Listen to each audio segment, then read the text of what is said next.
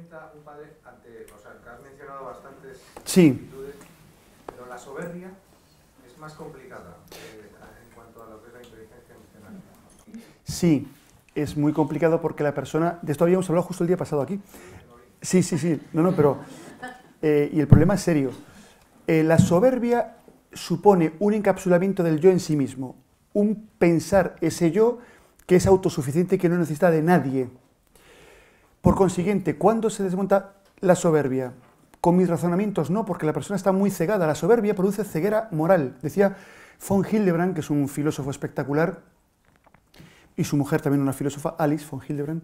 Bueno, pues Dietrich von Hildebrand dice que claro, que la gran deformación de la persona psíquica y moral es la soberbia, porque le impide ver lo que no sea él mismo. Por tanto, no ve lo valioso, no ve lo importante, no ve lo grave, solo se ve a sí mismo. Es una persona que no tiene ventanas, solo tiene espejos. Pero, afortunadamente, somos finitos. Y toda persona soberbia, en tanto que persona, por tanto, en tanto que ser humano, va a tener momentos de quiebra, de frustración y de morder el polvo. Es el momento de estar a su lado y decir, hijo, pues eh, pasa que puedo tardar las cosas. Hay que esperar pacientemente al momento doloroso para él de que se le venga el mundo encima. Entonces es cuando hay que explicar que no pasa nada. Y si pasa, ¿qué importa? Y si importa, ¿qué pasa? Tú ya ves que no lo puedes todo o que vas a necesitar ayuda, pero tienen que ellos mm, darse el golpe, darse el golpe. Eh, Porque es, es el caso, es la mayor enfermedad del alma, la soberbia que, bueno, que nos puede afectar a muchos el pensar que yo... Aquí hay dos puntos de vista, el equivocado y el mío. Hombre, eh, pues esto aqueja mucho a mucha parte de la población, en, en mayor o menor medida. Pero un momento óptimo es cuando llega al final el fracaso, que puede ser la enfermedad, puede ser el fracaso emocional, afectivo, puede ser el fracaso académico o laboral. Y en ese momento es el momento de acercarse y de revisar, porque en ese momento la persona se va a reblandecer. ¿no?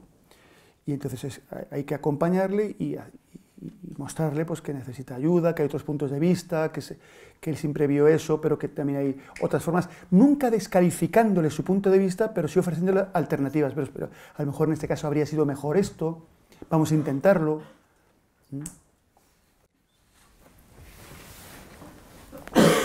Dice uno, yo no sé por qué la gente no reconoce sus defectos. Si yo tuviera defectos, lo reconocería. Efectivamente. Sí, sí, no, no, es, es un, es un problema serio la, soberbia porque impide, impide ser ayudado a la persona. La verdad es que reconocer mis debilidades es maravilloso porque me permite ser ayudado, ¿no? Al revés, sí. Y el problema de, de los pri- o jóvenes es la sensación de que lo pueden todo de que ya no necesitan, a, sus padres ya. Bueno, sí, para que mantenerles de momento, pero vamos, ¿eh? en lo económico, pero eh, ni opiniones. da- Al final, esos mismos hijos volverán a los padres a escucharles y pedir consejos. También es una fase de la vida, eh, porque están afirmando su identidad y necesitan, por tanto, pensar que sus padres y todo su entorno está equivocado. ¿Mm? Pues yo tengo a alguien cercano en mi familia eh, que pues ahora nos trató de convencer en, una última comida familiar que había que votar a Podemos. Y, dando razones a algunas cristianas, que era, mm, esto es parecido a la doctrina social de la Iglesia de Juan Pablo II, esta persona sabe, claro, y tal, y tal, y dando razones. Y además, porque hace falta cambiar esto y lo otro y tal, y, y bueno, em, no, si hubiera sido un adulto, le hubiese dado razones contundentes para rebatirle ciertas cosas. Pero en este caso, dice, bueno, pues hay que estudiar tu perspectiva, es, es- novedosa, sí, sí, sí. No puedo descalificarle de frente porque esa máscara de firmeza y de soberbia, la máscara, es un sustitutivo de una identidad formada. Entonces, las personas, cuando aún no tenemos una identidad formada y madura y segura, ne- necesitamos la máscara para hacer ver que yo que soy sólido, pero la máscara no se le puede quitar demasiado pronto porque se quedaría sin nada y eso podría dar lugar incluso a, a relaciones patológicas. ¿eh? Entonces, hay que ir desenmascarándoles eh, eh, sus seguridades, por ejemplo, el que se hace fuerte porque es un fuera de serie en el deporte y se identifica con su deporte o, con su físico. Y no, nadie le va a toser porque fíjate a él que, que ha hecho un, un, book últimamente, no sé, o a ella, ¿no? En, tal revista, ¿cómo le van a decir nada? Ya ha llegado, está más allá del bien y del mal. Bueno, pues eh, llegará el momento en que ya no le, no le llamen o que tenga o que prefieren a otro o a otra. Entonces llegará el momento del, de, del desenmascaramiento, pero con delicadeza, con delicadeza, porque eh, a lo mejor se agarra a eso para ser alguien ante sí mismo. Es un proceso de crecimiento. Pues si así nadie se lanza, voy a preguntar yo. Vamos. Última pregunta. eh, en mi caso, porque voy a contar mi caso completo, no voy a contar ningún rollo, pero yo tengo cuatro hijos y creo que, eh, o sea, y estas conferencias que me parecen muy interesantes para los padres a mí me han enseñado mucho en mi relación con los hijos. Pero la realidad es que luego eh, encuentro difícil mmm, trabajar la relación entre ellos. Tú puedes decirle a tu hijo lo estupendo que es y lo magnífico que es, pero si entre los hermanos se llevan mal y se machacan, porque esta generación de yo que soy de, más de hermanas que de hermanos, no entiendo cómo se pueden decir esas cosas. Entonces, ¿cómo consigues que, transmitir que estos hermanos, que aunque no se lleven bien, busquen el no hundir al de al, al de al lado? Que en un momento dado, por mucho que tú le digas a tu hijo, eres estupendo, eres estupendo, sí, pero sin mis hermanos ninguno quiere. O... Sí. Bueno, primero, yo desdramatizaría las tensiones entre hermanos, sobre todo si son chicos, bueno, también esas chicas, eh, hay de todo. Porque es parte de su aprendizaje también y de su crecimiento. Lo ensayan entre ellos. ¿Cuántas veces hemos visto hermanos que en, en casa eh, son incluso ásperos unos con otros y después son una piña y cómo se quieren, cómo se quieren fuera? Pero tienen que ensayar su territorio, sus posiciones, su, y a veces machacan más a uno. Cuando ya hay un cierto ensañamiento con el pequeño, por ejemplo, que siempre me molesta, es un pringao tal, entonces, en algún momento pero sin darle excesiva importancia, porque eso se autorregula, es un mecanismo de autorregulación, si mantenemos la serenidad. ¿no? Si también le contestamos nosotros, pues sois todos unos desgraciados, porque claro, no. Dice, le llamas a uno, es una guerra de uno por uno, ¿no? Oye, le has dicho a tu hermano que es un tarao. ¿Cómo crees que se ha sentido? Pues bien, porque él lo es.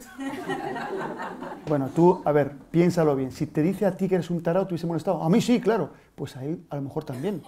O sea, reflexiones de vez en cuando con ellos, pero sin alarmarse mucho del ruido de sables en casa, porque es parte, es parte del guion, sí, sí, sí. Sí, sí. Ustedes, quizá uno de ustedes se desespera un poco porque las cosas no van al ritmo que ustedes quisieran en maduración. Paciencia porque verán la luz todos, todos, todos, todos. Pasa que quisiéramos que ya fuese madurísimos y no, y esta generación va más lentos en general porque se ha alargado el tiempo de estudio, porque han tenido más comodidades que seguro que muchos de ustedes, y por tanto son más, más lentos, más blandos en el crecimiento eh, moral y afectivo. Pero van creciendo. Entonces, ese, tipo de cosas, lo importante es nunca alarmarse. Es, eh, una vez eh, vi al, al que es ahora arzobispo de, de, Madrid, a don Carlos Osoro, que fue obispo de Orense, por eso ha llegado tan lejos, pues lo hemos exportado después. Bueno, pues estaba dando una charla a los seminaristas que iban a ser ordenados y les hablaba de la confesión. Y les decía, mirad, eh, en, la, en confesión vais a escuchar cosas tremendas, pero nunca podéis decir, ¡hala, qué horror! Qué, ¡Joder! ¡Qué bárbaro! ¿Cómo ha hecho usted eso? ¿Eh?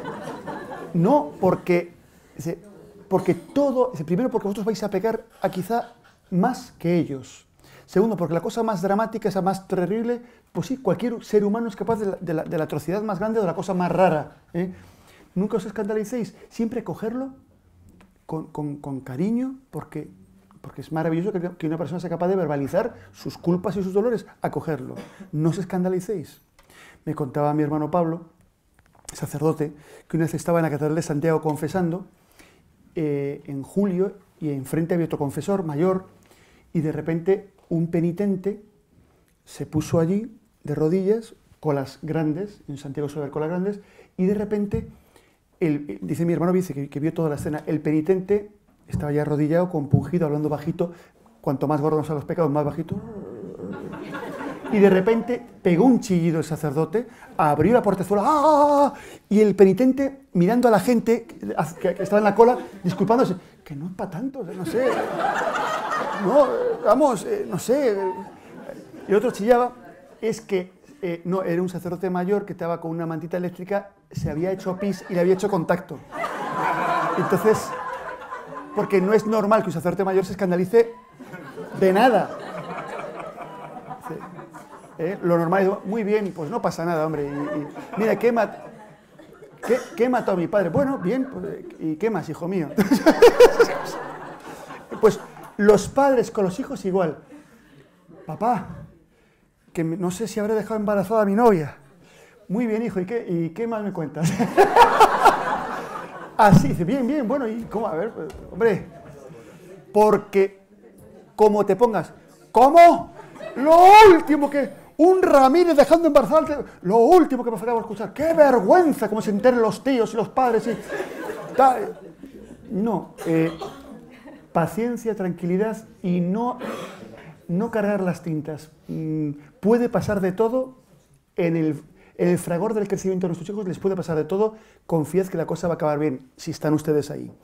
Eh, pacientemente, a su lado, eh, acogiendo con cariño y diciendo lo que haya que decir en su momento, las cosas irán saliendo bien. El problema es si no tuviese padres o no tuviese a quien les quisiera.